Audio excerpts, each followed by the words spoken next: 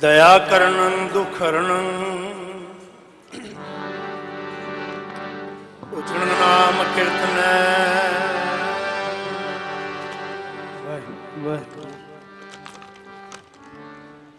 ਦਿਆਲ ਪੁਰਖ ਭਗਵਾਨ।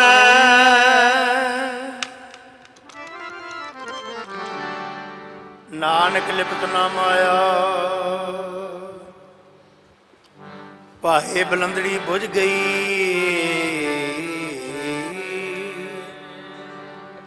ਰਖੰਦੜੋ ਪ੍ਰਭ ਆਪ। ਜਿਨ ਉਪਾਈ ਮੇਦਨੀ, ਨਾਨਕ ਸੋ ਪ੍ਰਭ ਜਾਪ। ਜਿਹੜੇ ਸਰੋਪੇ ਪੈ ਰਹੇ ਨੇ ਕਿਉਂਕਿ ਅੱਜ ਕੱਲ ਦਿੱਲੀ ਵਿੱਚ ਆਮ ਖੇਡ ਚੱਲ ਰਹੀ ਹੈ ਕਿਸੇ ਨੂੰ ਹਟਾਉਣਾ ਹੋਵੇ ਤਾਂ ਸਰੋਪਾ ਗੱਲ ਪਾ ਛੱਡੋ। ਮੈਂ ਹੁਣੇ ਸੈਕਟਰੀ ਸਾਹਿਬ ਹੋਰਾਂ ਨੂੰ ਆਖਿਆ ਵੀ ਸਮਾਪਤੀ ਕਰ ਦਈਏ ਕਹਿੰਦੇ ਨਹੀਂ ਨਹੀਂ ਕੀਰਤਨ ਦੀ ਰਮਤਾ ਦੇ ਸਰੋਪੇ ਪੈ ਰਹੇ ਨੇ। ਵਾਹ ਵਾਹ ਵਾਹ ਵਾਹ। ਆਓ ਜੀ, ਗੁਰੂ ਕੇ ਚਰਨਾਂ ਨਾਲ ਅੰਮ੍ਰਿਤ ਵੇਲੇ ਤੋਂ ਸੰਗਤਾਂ ਜੁੜੀਆਂ ਨੇ। ਅਸੀਂ ਤੇ ਕੀਰਤਨ ਕਰਨ ਵਾਲੇ ਹੀ ਆ। ਅਸੀਂ ਕੀਰਤਨ ਕਰਕੇ ਟੁਰ ਜਾਣਾ। ਹੈ ਕਈ ਰਾਗੀ ਸਵੇਰ ਦੇ ਆ ਗਏ ਨੇ, ਸੰਤ ਮਹਾਂਪੁਰਖ ਆਏ ਨੇ, ਸਾਰੇ ਕੀਰਤਨ ਕਰਕੇ ਟੁਰ ਗਏ ਨੇ। ਧਨ ਸੰਗਤ ਏ, ਜਿਹੜੇ ਸੰਗਤ ਜਿਹੜੀ ਬਹਿ ਕੇ ਹਰ ਇੱਕ ਰਾਗੀ ਨੂੰ ਬਾਣੀ ਮਹਾਰਾਜ ਜੀ ਦਾ ਪਾਠ ਸਰਵਣ ਕਰ ਰਹੀ ਏ, ਧੰਨ ਗੁਰੂ ਕੀ ਸੰਗਤ ਹੈ। ਆਓ ਜਿੰਨਾ ਵੀ ਸਮਾਂ ਜਦੋਂ ਇਸ਼ਾਰਾ ਕਰ ਦੇਣਗੇ ਸੈਕਟਰੀ ਸਾਹਿਬ, ਅਸੀਂ ਉਦੋਂ ਹੀ ਸਮਾਪਤੀ ਕਰ ਦੇਣੀ ਹੈ ਕਿਉਂਕਿ ਜਿਹੜਾ ਇਹ ਖੁੱਲਾ ਕੀਰਤਨ ਹੈ ਪੁਰਾਤਨ ਸਮੇਂ ਦਾ ਕੀਰਤਨ ਹੈ। ਤਾਂ ਕਿਉਂਕਿ ਪੰਜਾਬ ਵਿੱਚ ਜ਼ਮੀਨਦਾਰ ਭੋਲੇ ਉਦੋਂ ਇੰਨੀਆਂ ਪੜ੍ਹਾਈਆਂ ਨਹੀਂ ਸਨ। ਉਹਨਾਂ ਨੂੰ ਸਮਝਾਉਣ ਵਾਸਤੇ ਕੀਰਤਨ ਹੁੰਦਾ ਸੀ। ਨਾਲ ਕਥਾ ਵੀ ਚੱਲੇ, ਨਾਲ ਗੁਰੂ ਕੀਆਂ ਧਾਰਨਾ, ਗੁਰੂ ਕੀ ਬਾਣੀ ਵੀ ਯਾਦ ਹੋਵੇ ਹਾਜ਼ਰੀਆਂ ਲਗਵਾਓ, ਰਸਨਾ ਨੂੰ ਪਵਿੱਤਰ ਕਰਾਓ, ਮੁਖੋਂ ਗੱਜ ਕੇ ਬੁਲਾਓ ਜੀ। ਵਾਹਿਗੁਰੂ ਜੀ ਕਾ ਖਾਲਸਾ। ਵਾਹਿਗੁਰੂ ਜੀ ਫਤਿਹ। ਬੜੀਆਂ ਬੜੀਆਂ ਮਹਾਨ ਸ਼ਖਸੀਅਤਾਂ, ਬੜੇ ਬੜੇ ਸੰਤ ਮਹਾਰਾਜ ਇਸ ਸਮਾਗਮ ਵਿੱਚ ਪਹੁੰਚੇ ਹੋਏ ਨੇ। ਆਓ ਜੀ, ਸਿੱਧਾ ਸਿੱਧਾ ਕੀਰਤਨ ਹੈ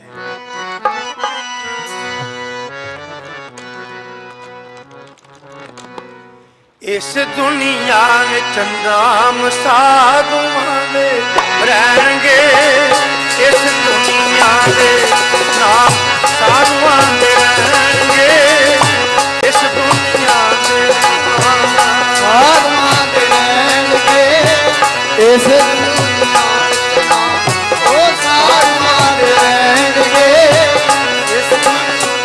ਵਿੱਚ ਨਾਮ ਉਹ ਸਾਧੂਆਂ ਦੇ ਰਹਿਣਗੇ।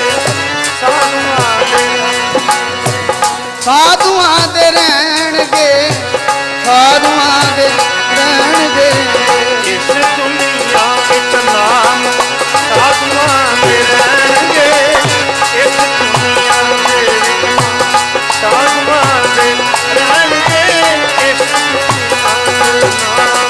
ਸਾਧੂਆਂ ਦੇ ਰਹਿਣਗੇ ਇਸ ਦੁਨੀਆ 'ਚ ਨਾਮ ਸਾਧੂਆਂ ਦੇ ਰਹਿਣਗੇ ਇਸ ਦੁਨੀਆ ਵਿੱਚ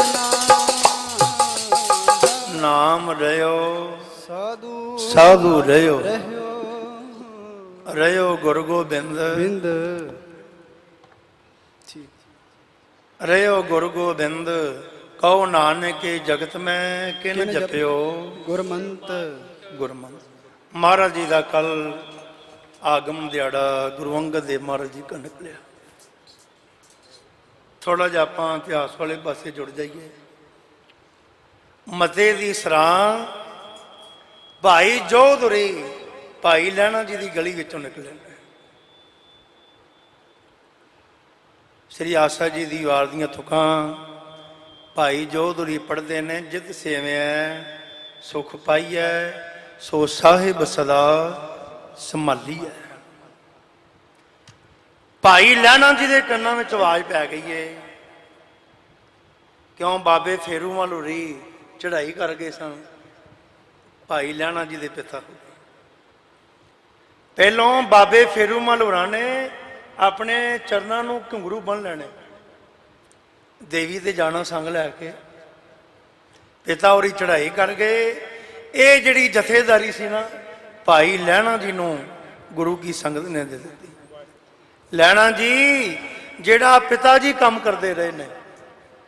ਆ ਵੇਖਿਆ, ਬਾਬਾ ਨਰਾਇਣ ਸਿੰਘ ਹੁੜੀ ਉਹ ਸਾਹਮਣੇ ਦਰਖਤ ਥੱਲੇ ਬਹਿ ਜਾਣਾ। ਕਦੀ ਕਦੀ ਸੁਭਾਗ ਸਮਾਂ ਮਿਲ ਜਾਂਦਾ ਸੀ ਦਰਸ਼ਨ ਕਰਨ ਦਾ। ਬੜੇ ਉੱਚੇ ਲੰਮੇ ਕੁਰਸੀ ਤੇ ਬੈਠੇ ਹੋਣਾ। ਤੇ ਸਾਨੂੰ ਉਹ ਭਾਈ ਸਤਨਾਮ ਸਿੰਘ ਹੁਰੀ ਲੈ ਕੇ ਆਏ। ਬਾਬਾ ਨਰਾਇਣ ਸਿੰਘ ਮਹਾਰਾਜ ਕੋਲ। ਕਹਿੰਦੇ ਨੇ ਬਾਬਾ ਜੀ ਇਹ ਨਸ਼ਹਿਰੇ ਵਾਲੇ ਨੇ ਨੀਲੇ ਬਾਣੇ ਵਾਲੇ। ਤੇ ਬਾਬਾ ਜੀ ਕਹਿੰਦੇ ਨੇ ਉਹ ਸਤਨਾਮ ਤੇਰੀ ਨਿਭ ਜਾਏਗੀ ਇਹਨਾਂ ਨਾਲ। ਕਿਉਂ? ਖੁੱਲਾ ਬਚਨ ਸੀ ਬਾਬੇ ਹੋਰਾਂ ਦਾ। ਕਹਿੰਦੇ ਨੇ ਤੇਰੀ ਨਿਭ ਜਾਏਗੀ ਇਹਨਾਂ ਨਾਲ। ਤੇ ਸਤਨਾਮ ਸਿੰਘ ਜੀ ਕਹਿੰਦੇ ਨੇ, ਬਾਬਾ ਜੀ ਆਪ ਹੀ ਨਿਭਾਉਣ ਵਾਲੇ ਆ ਉਹ ਤੇ ਟੁਰ ਗਏ ਪਰ ਸਾਡੀ ਨਿਭ ਰਹੀ ਹੈ ਤੇ। ਇਹ ਨਿਭੀ ਰਹੇ ਮਹਾਂਪੁਰਖਾਂ ਨਾਲ। ਉਹ ਨਾਮ ਤੋਂ ਬਿਨਾ ਨਹੀਂ ਪਾਰ ਲੱਗਣਾ ਤੇ ਬੇੜਾ ਤੇਰੀ ਜ਼ਿੰਦਗੀ ਦਾ। ਉਹ ਨਾਮ ਤੋਂ ਬਿਨਾ ਨਹੀਂ ਪਾਰ ਲੱਗਣਾ ਬੇੜਾ ਤੇਰੀ ਜ਼ਿੰਦਗੀ ਦਾ। ਨਾਮ ਤੋਂ ਬਿਨਾ ਨਹੀਂ ਪਾਰ ਲੰਘਣਾ ਬੇੜਾ ਤੇਰੀ ਜ਼ਿੰਦਗੀ ਦਾ। ਭਾਈ ਨਾਮ ਤੋਂ ਬਿਨਾ ਨਹੀਂ ਬੇੜਾ ਤੇਰੀ ਨਾਮ ਤੋਂ ਬਿਨਾ ਨਹੀਂ ਪਾਰ ਲੱਗਣਾ। ਉਹ ਨਾਮ ਤੋਂ ਬਿਨਾ ਨਹੀਂ ਪਾਰ ਲੱਗਣਾ। ਭਾਈ ਨਾਮ ਤੋਂ ਬਿਨਾ ਨਹੀਂ ਪਾਰ ਲੰਘਣਾ। ਨਾਮ ਤੋਂ ਬਿਨਾ ਨਹੀਂ ਪਾਰ ਲੰਘਣਾ। ਨਾਮ ਜਪਣ ਨੂੰ ਜੇਵਾ ਦਿੱਤੀ ਹਰ ਦਰਸ਼ਨ ਨੂੰ ਅੱਖੀ ਨਾਮ ਜਪਣ ਨੂੰ ਦੇਵਾ ਦਿੱਤੀ ਹਰ ਦਰਸ਼ਨ ਨੂੰ ਅੱਖੀ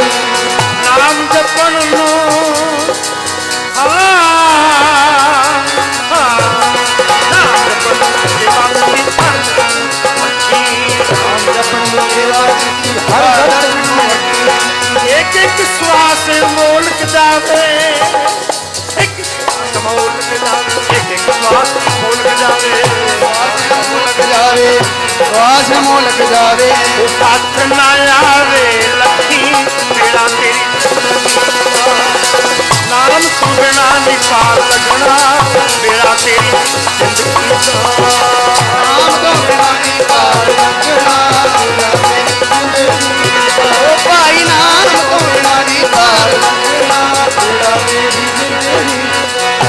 ਛਵੀ ਹਜ਼ਾਰ ਸਵਾਸ ਬੰਦੇ ਦਾ ਆਮਦਨ ਨਾ ਕੀਵੇ।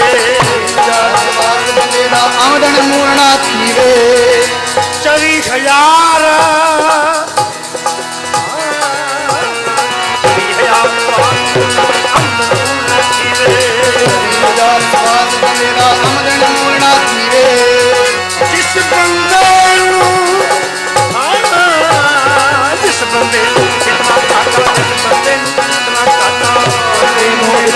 ਇਤਨਾ ਕਾਟਾ ਬੰਦੇ ਨੂੰ ਇਤਨਾ ਕਾਟਾ ਇਸ ਬੰਦੇ ਨੂੰ ਰਸਨਾ ਜਪੇ ਨਾ ਨਾਮ। ਤਿਲ ਤਿਲ ਕਰ ਕਟਿਐ। ਇਹ ਮਹਾਰਾਜ ਜੀ ਦੀ ਸਾਲੀ ਏ ਹਰਿਆ ਜਿਹਦਾ ਮਹਾਰਾਜ ਨਾਮ ਲਿਖਦੇ ਨੇ ਬਾਣੀ ਵਿੱਚ। ਕਹਿੰਦੀ ਏ ਮਹਾਰਾਜ ਜੀ, ਗੰਗਾ ਜੀ ਨੂੰ ਵਿਆਹਣ ਆਇਓ। ਕੋਈ ਸੱਦ ਤੇ ਸੁਣਾਓ ਨਾ।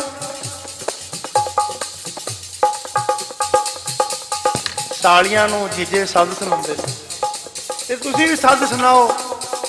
ਮਹਾਰਾਜ ਆਖਣ ਲੱਗੇ, ਕਿਹੜਾ ਸੱਦ ਸੁਣਾਈਏ? ਹਰਿਆ ਕਹਿੰਦੀ ਏ, ਮੈਂ ਥੋੜਾ ਦੱਸਣਾ ਹੈ। ਤੁਸੀਂ ਸੁਣਾਉਣਾ, ਮੈਂ ਥੋੜਾ ਦੱਸਣਾ ਕਹਿੰਦੇ ਨੇ, ਜਾ ਹਰਿਆ, ਸੱਦ ਲੱਗਿਆ ਸੁਣਾਉਣ, ਤੇਰਾ ਵੀ ਬਾਣੀ ਵਿੱਚ ਨਾਮ ਆ ਜਾਏਗਾ।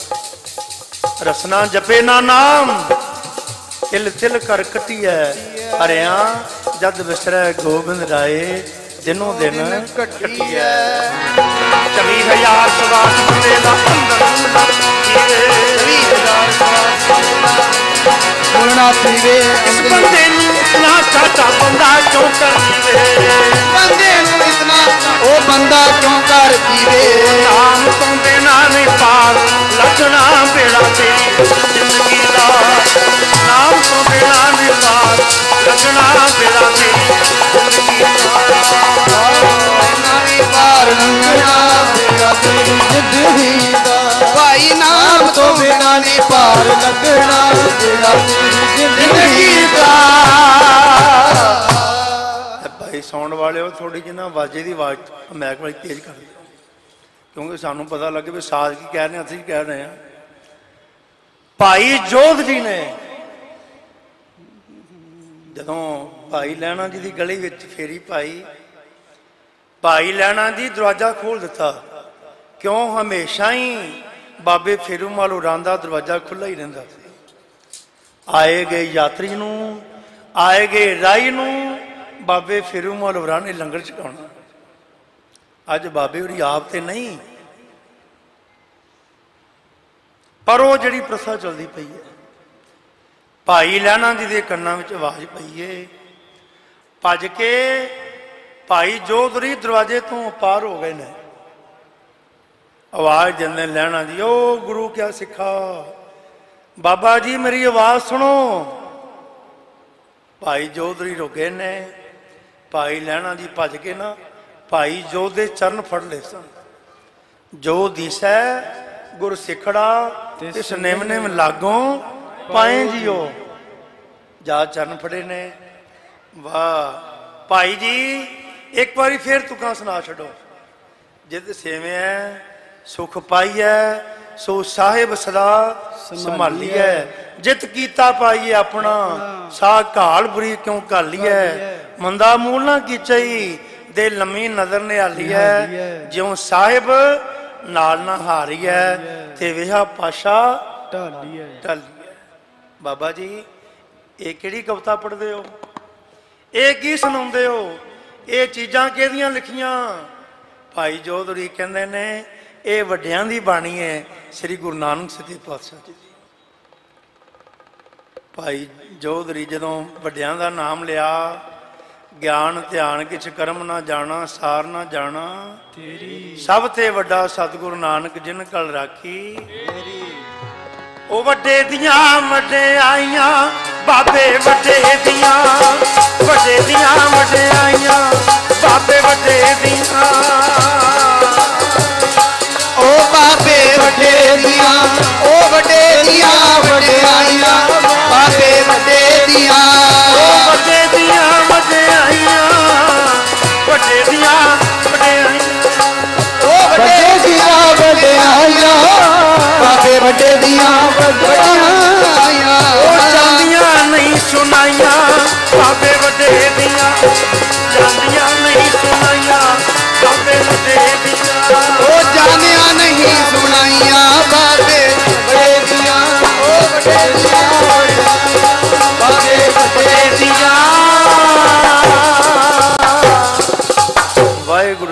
ਖਾਲਸਾ ਵਾਹਿਗੁਰੂ। ਫਿਰ ਕਿਤੇ ਮਾਰੇ ਸਮਾਂ ਬਖਸ਼ਣਗੇ ਮਹਾਰਾਜ ਜੀ ਉਹ ਇਸ਼ਾਰਾ ਹੋ ਗਿਆ ਜੀ।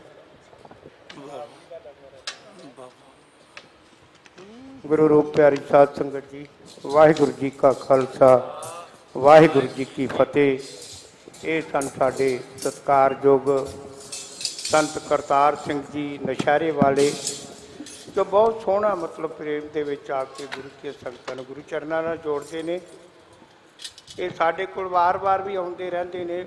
ਹੁਣ ਸਾਡੇ ਕੋਲ ਹਸਤੀ ਜਿਹੜੇ ਅੱਜ ਤੋਂ 56 ਸਾਲ ਉਸ ਤਰ੍ਹਾਂ ਬੇਸ਼ੱਕ ਜੀ ਸਦਕੇ ਨਾਨਕ ਸਰ ਦੇ ਵਿੱਚ ਹਾਜ਼ਰੀਆਂ ਭਰਦੇ ਨੇ। ਪਰ ਇਸ ਸਥਾਨ ਤੋਂ ਬਹੁਤ ਲੰਬੇ ਅਰਸੇ ਤੋਂ ਬਾਅਦ ਜਦੋਂ ਮੇਰੇ ਮਾਲਕ ਸਤਿਗੁਰੂ ਸੱਚੇ ਪਾਤਸ਼ਾਹ ਦੀ ਕਿਰਪਾ ਦੁਆਰਾ ਧੰਨ ਧੰਨ ਬਾਬਾ ਈਸ਼ਰ ਸਿੰਘ ਜੀ ਉਹ ਪਰਲੇ ਸਥਾਨ ਵਿੱਚ ਵਿਚਰਦੇ ਸਨ ਤੇ ਇਹ ਜਿਹੜੇ ਸਾਡੇ ਬਾਬਾ ਗੇਜਾ ਸਿੰਘ ਸੀ ਉਹਨੀ ਦਿਨੀ ਜਵਾਨ ਸੀ। ਕਾਲੇ ਕੇਸ ਸਨ। ਤੇ ਇਹਨਾਂ ਨੇ ਜਦੋਂ ਅੰਮ੍ਰਿਤਬਾਈ ਦੇ ਬਾਟੇ ਵਿੱਚ ਲੱਗਣਾ ਦਾਸਾਂ ਵੀ ਹੋ ਸਕਦਾ ਇਹਨਾਂ ਕੋਲ ਅੰਮ੍ਰਿਤਪਾਨ ਕੀਤਾ ਹੋਇਆ ਤੋਂ 56 ਸਾਲ ਪਹਿਲੇ।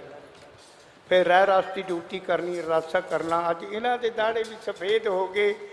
ਬਾਬਾ ਜੀ ਨੇ ਐਸਾ ਰੰਗ ਚਾੜਿਆ ਕਿ ਹਿਰਦੇ ਵੀ ਜਿਹੜੇ ਸੀ ਉਹਨਾਂ ਦੇ ਵਿੱਚ ਕੋਈ ਮੈਲ ਨਹੀਂ ਰਹੀ ਗੁਰਮੁਖ ਪਿਆਰਿਓ। ਜੋ ਬਾਬਾ ਜੀ ਦੇ ਦਰ ਵਿੱਚ ਆ ਗਏ ਉਹਨਾਂ ਦੇ ਹਿਰਦੇ ਐਉਂ ਹੋ ਗਏ ਜਿਵੇਂ ਮਤਲਬ ਕੰਚਨ ਵਰਗੇ ਹੁੰਦੇ ਨੇ। ਸੋ ਇਹ ਮਿਹਰ ਦੀ ਨਿਸ਼ਾਨੀ ਹੈ। ਸਾਡੇ ਕੋਲ ਅੱਜ ਬੜੇ ਸਮੇਂ ਬਾਅਦ ਆਏ ਨੇ। ਇਹਨਾਂ ਨੇ ਹੁਣ ਗੁਰੂ ਘਰ ਦੀ ਹਾਜ਼ਰੀ ਭਰ ਕੇ ਕੀਰਤਨ ਦੁਆਰਾ, ਜੋ ਬਾਬਾ ਜੀ ਵੀ ਦੀਵਾਨ ਵਿੱਚ ਆਉਣ ਵਾਲੇ ਨੇ, ਉਹਨਾਂ ਦਾ ਹੁਕਮ ਸੀ ਕਿ ਅਸੀਂ ਦੀਵਾਨ ਵਿੱਚ ਆਈਏ ਤੇ ਗੁਰਮੁਖ ਪਿਆਰੇ ਕੀਰਤਨ ਕਰਦੇ ਹੋਣ।